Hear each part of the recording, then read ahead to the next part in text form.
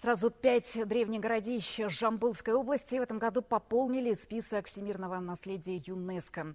Окутанные неразгаданными тайнами Акыртас, руины прибрежного Кустубе, богатого в прошлом Орнека, уютный Кулан и выдающийся Актубе. Древние легенды на Великом Шелковом пути наконец удостоились одобрения международных экспертов. Ну а местные историки и краеведы уверены, теперь о свидетелях старины узнают тысячи людей и сотни туристов смогут прикоснуться к тайнам тюркского прошлого.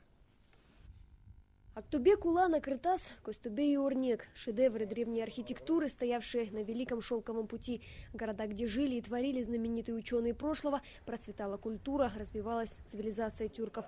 От пыльных улочек сегодня сохранилось немного, но каждая, даже самая мелкая находка может рассказать историю целого народа.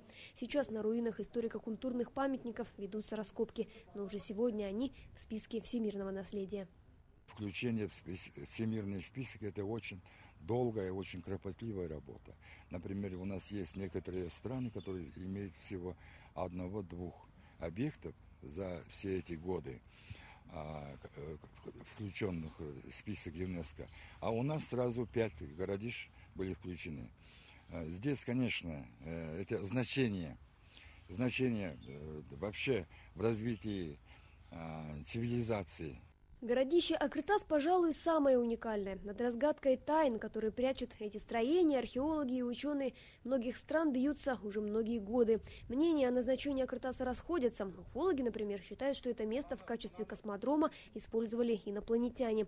Но ученые все же склоняются к тому, что городище начали строить в районе 7-8 веков, период появления на этой территории арабской цивилизации.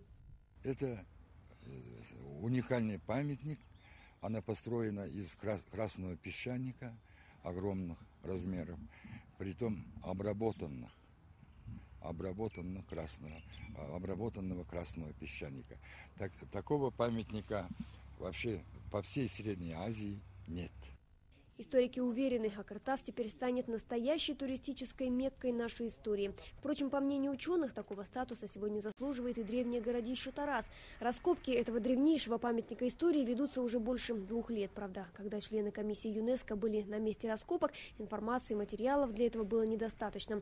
Тем временем исследования на территории бывшего центрального рынка сегодня, можно сказать, в самом разгаре. В восточной части Шахристана заложили в трех местах раскопки и разрезы. В одном из них был, было нами найдена крепостная стена толщиной 11 метров, в другом 6 метров. Э, Еще в одном месте, в одном раскопе мы выявили крепостную стену с бермой с, с внешней стороны. В общем, раскопки ведутся, цели большие, задачи тоже. Ну а пока городище Тарас ждет одобрения международных экспертов, здесь планируют отстроить музей под открытым небом. Дарья Визовая, Рауан Бекинджеб, Хаджан Бапаев, Жамбылская область.